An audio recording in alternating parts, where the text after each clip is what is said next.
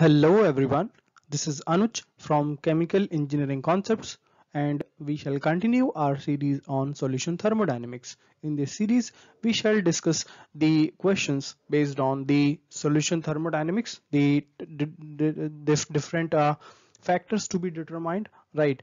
So uh, today we shall discuss some problems that are based on the determination of fugacity, fugacity coefficients and uh, a problem is based on the mixing volume, right? So let's start off with our topic. This is our so this is our problem number one for the day. The problem says that we have to estimate the fugacity of ammonia which obeys the equation of state. Okay, so this is the equation of state that you can see here. P V minus B is equal to RT, right? And we have to determine the fugacity at 10 bar and 298 kelvins. You are given with the uh, constant V, the value of constant B that is 3.707 into 10 raised to power minus 5 meter cubes per mole, right? So uh, you can pause the video here and uh, try to solve it on your own, right? If you are preparing for any competitive exam or your semester exam as well, okay. So this will be a very good uh, practice problem for you, right? So uh, now let's see the solution how you can approach this type of problem uh, to get the solution right? So guys uh, first of all we are given with the um, equation right? The equation of state that is given by p v minus b is equal to rt right? This is the equation of state that is given to us. Now we can rearrange the equation in the following manner that you can see here right uh, we can introduce the factor of z here. Z you know that is the compressibility factor right? So pv minus p b is equal to rt right? You can also write because we know the value of z okay? Z we know how you can write this pv upon rt is z right? And that is the compressibility factor right? So guys uh, the value the value of z here becomes 1 plus pb over rt right? So this way we can write the equation. This way we can write the equation. And uh, for determination of fugacity uh, I need you guys to remember this important relationships right? This important relationship that I'm writing here ln f upon p is equal to ln of phi that is the fugacity coefficient is equal to 0 to p z minus 1 sorry it will be z minus 1 over p multiplied by dp right so this is an important relationship. I hope the, uh, all the students must know this relationship. This is a very commonly used relationship.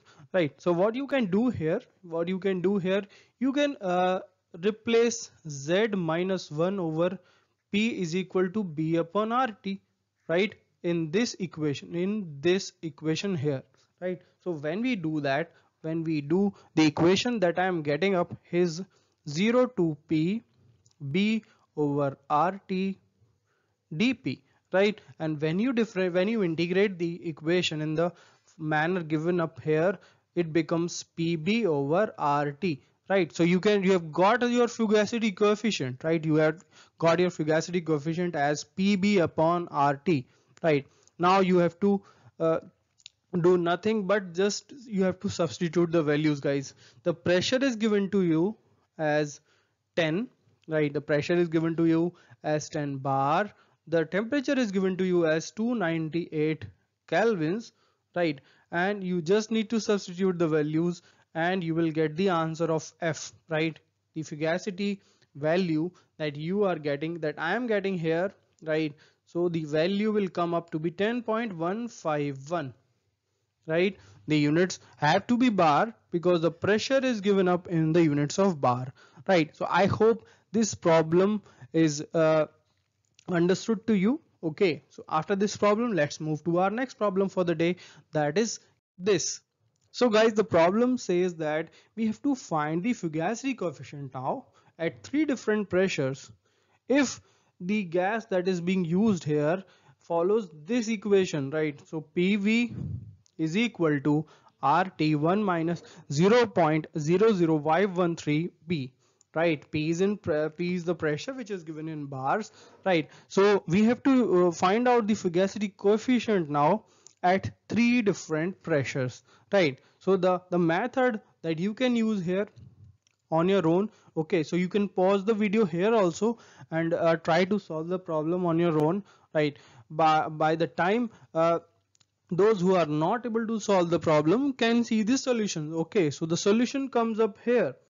So guys we know that at constant pressure or uh, sorry at constant temperature at constant temperature the equation for dg that is the change in the Gibbs free energy is given up as VDP right? It is given up by VDP and because uh, uh, since the temperature is constant the term of minus SDT will be zero right? And also also we know another uh, equation for dg that is the RT d ln of f right. So both these equations can be equated.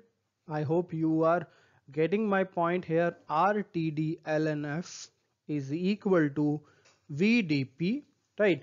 And uh, here we can replace the value of V. Right. The equation of V will come up from our main equation of state that is given to you in the problem itself. Right. 1 minus 0 0.00513 p right? So this equation is given to you. This equation is given to us and you just need to substitute the value of v here right? So v becomes this. So I'm just going to replace the value of V.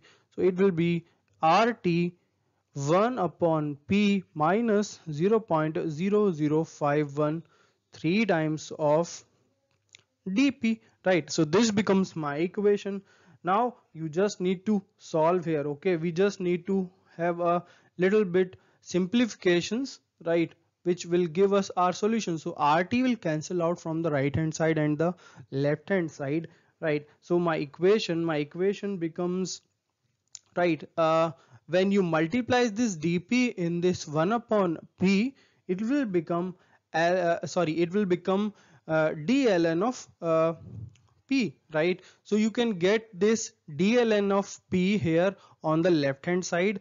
And on the left hand side I am only left with this f upon p. Okay and we know this f upon p is simply the fugacity coefficient right? So on the right hand side i am left with only one term that is 0.00513 times of dp right? And let's simplify it furthermore. Let's simplify it furthermore. My equation becomes ln of phi is equal to minus of 0.00513 times of uh, this p which we can integrate which we can integrate right?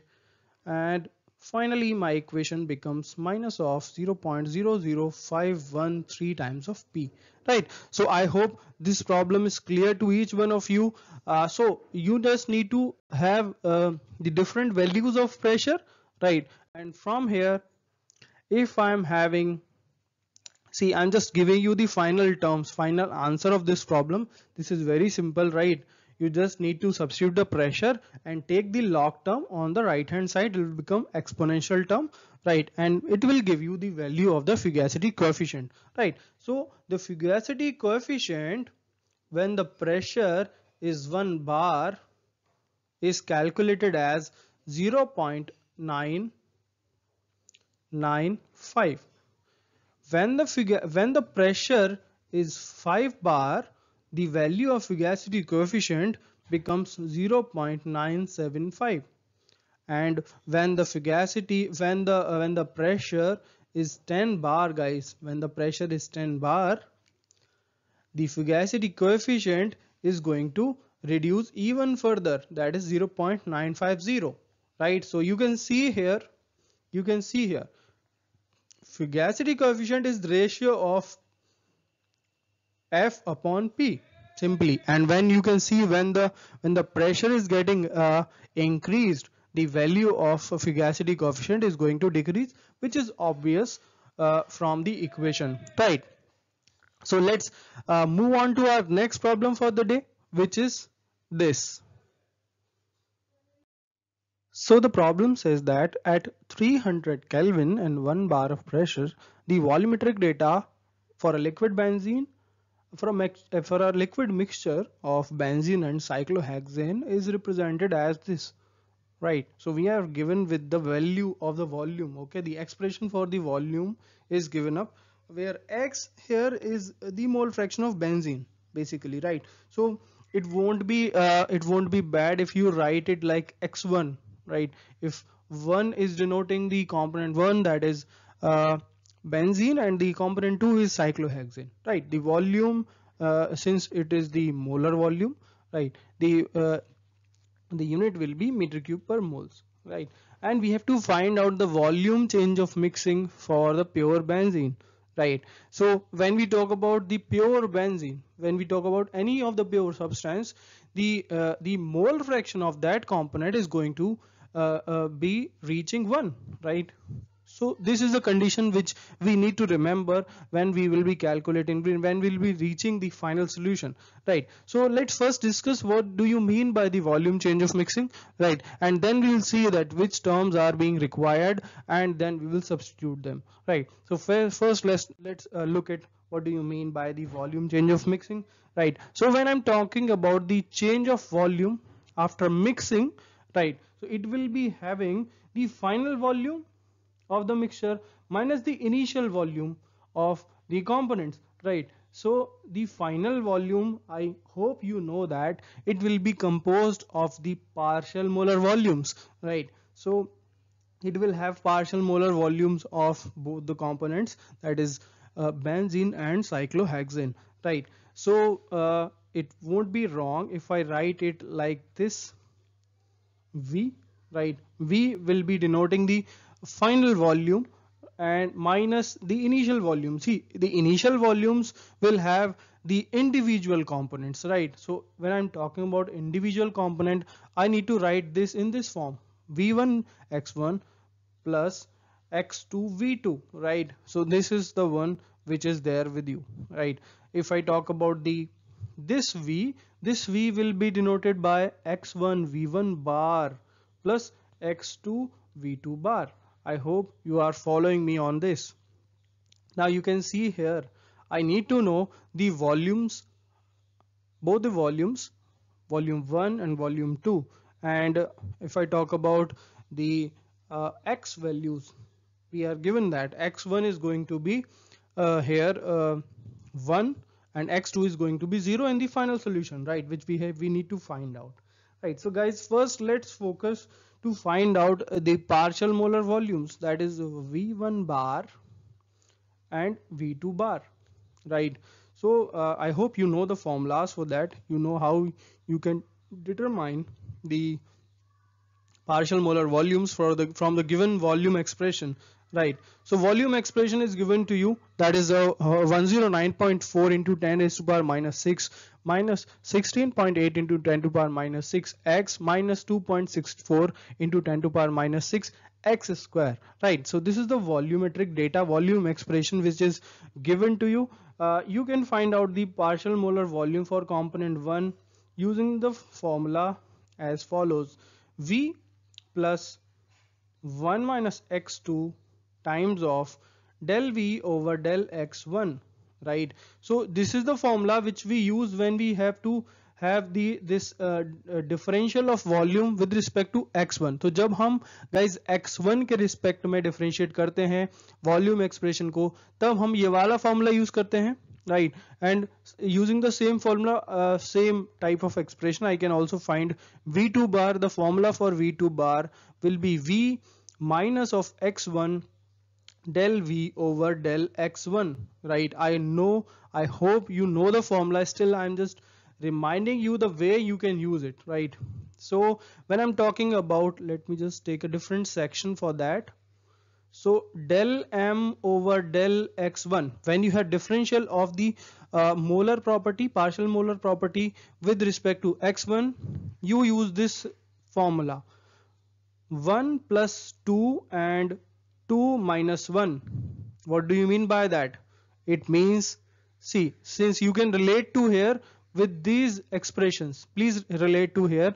Uh, so uh, when we have this del m over del x1 it will be written as v1 plus v1 is equal to v plus of so this is the plus of this is 1 minus x1 right? Or or it could be written as x2 as well right so it will be 2 times of the differential of v with respect to x1 I hope you are following me on this I hope आप समझ पा रहे हो जब हम बात करेंगे v2 बार की so v2 bar will be nothing but v minus of this x1 so this is the one which denotes here right multiplied by the uh, differential of v with respect to x1 guys I hope you have followed me on this अभी जब हम guys del m over del x2 की value लिखते हैं the uh, the how, how you can remember it so it will be nothing but 1 minus 2 upon 1 minus 2 and for finding out the